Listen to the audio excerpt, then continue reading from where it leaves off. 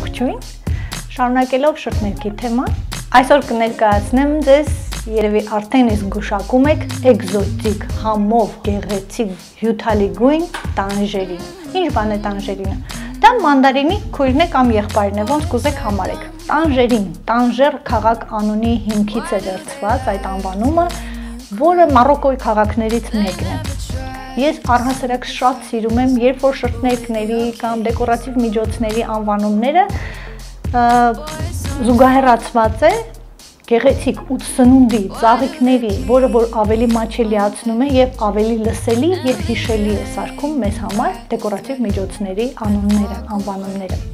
2012 թվականից վերոհիշալ գույնս ստացավ լայն տարածում։ Դա կարմիրի եւ նարնջագույնի խառնուրդներ։ Եվ ցանկացած կին, անկախ տարիքից, քիչ թե շատ իրան նորաձև համարող, փորձեց անպայման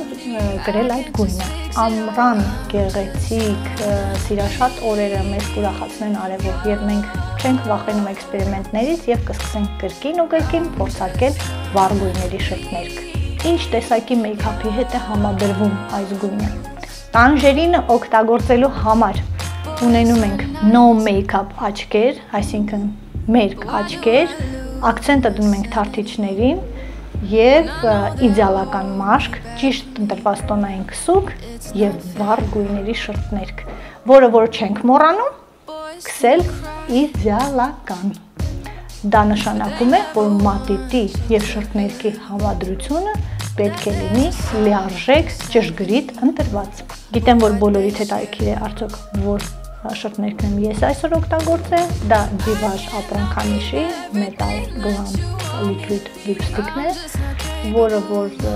ձեր կարծում եմ ամենաֆավորիտներից մեկը կդառնա եւ ինքը իդեալական ինչ որ անում է, բայց ունի այսօրվա արդի մետաղյա փայլը։ Սպասում եմ ձեր մեկնաբանություններին